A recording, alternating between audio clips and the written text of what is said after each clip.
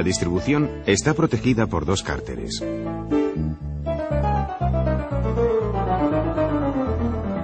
Su arrastre es efectuado por una correa dentada, cuya tensión está garantizada por un tensor dinámico. El árbol de levas de admisión cuenta con un dispositivo llamado VTC que permite la variación del diagrama de distribución en dinámico.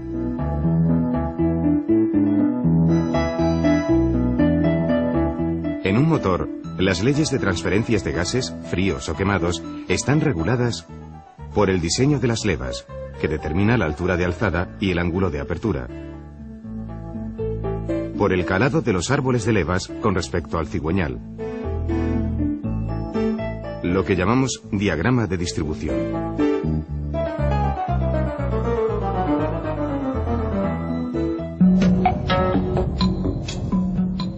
Diagrama de distribución es un compromiso que favorece el buen funcionamiento a bajo régimen, flexibilidad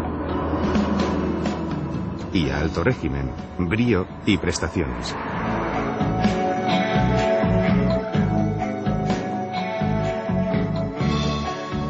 En un ciclo de motor teórico, después del cierre de las válvulas de escape, la válvula de admisión debe abrirse en el punto muerto superior y cerrarse en el punto muerto inferior.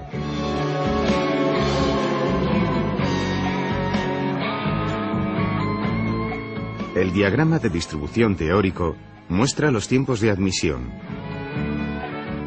compresión, explosión, expansión. Y escape.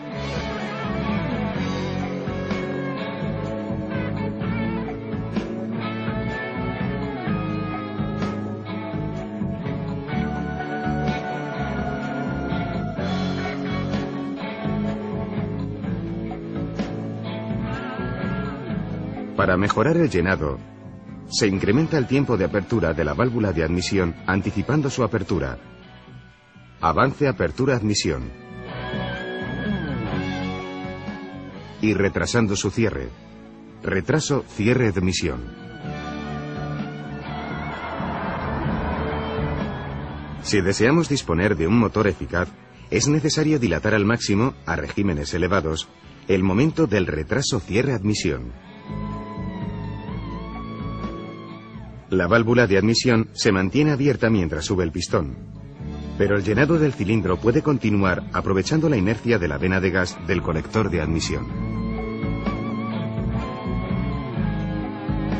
Por el contrario, a la reanudación a bajo régimen, la inercia de la vena de gas es muy débil y el pistón expulsa, al ascender, una parte de la mezcla gaseosa admitida. De ello resulta una importante pérdida de par motor.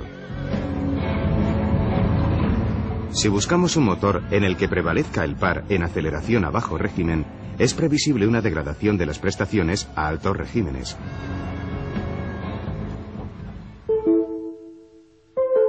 El dispositivo VTC conjuga los imperativos par a bajo régimen y brío a alto régimen mediante decalaje del punto de cierre de la válvula de admisión.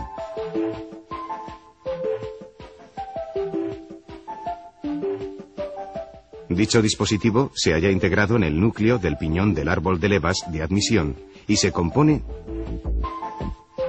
de un cilindro A solidario del árbol de levas de admisión, merced a un tornillo hueco. El cilindro lleva en su periferia rampas helicoidales. De un cilindro B que forma el núcleo del piñón de distribución y dotado de rampas helicoidales en su interior.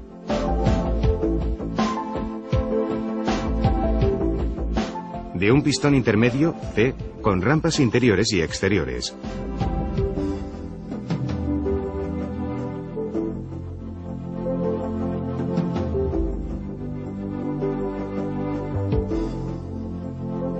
Un muelle lo mantiene en su posición de reposo.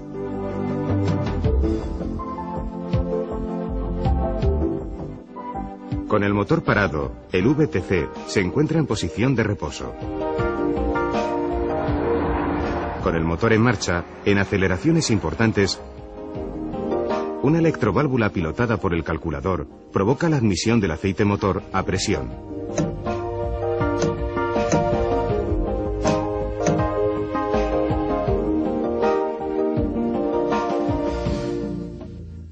El pistón C acusa la presión y se desplaza comprimiendo el muelle de retroceso.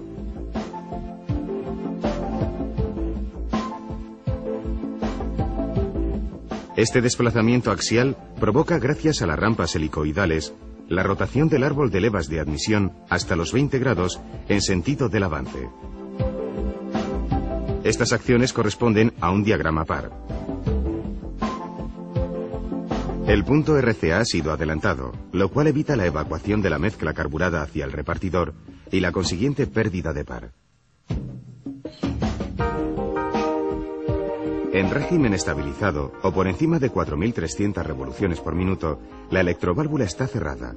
El muelle de retroceso anula el avance dado al árbol de levas.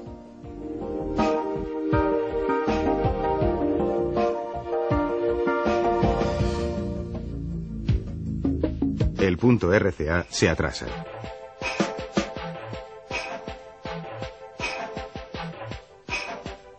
La admisión de mezcla puede continuar por la válvula de admisión todavía abierta. Esta circunstancia favorece la eficacia. Prestaciones. Con el fin de evitar los contactos entre pistones y válvulas a causa de los decalajes, se practican unos fresados en la parte superior de los pistones, coincidiendo con las válvulas de admisión. El dispositivo tiene solo dos posiciones, en reposo o activado.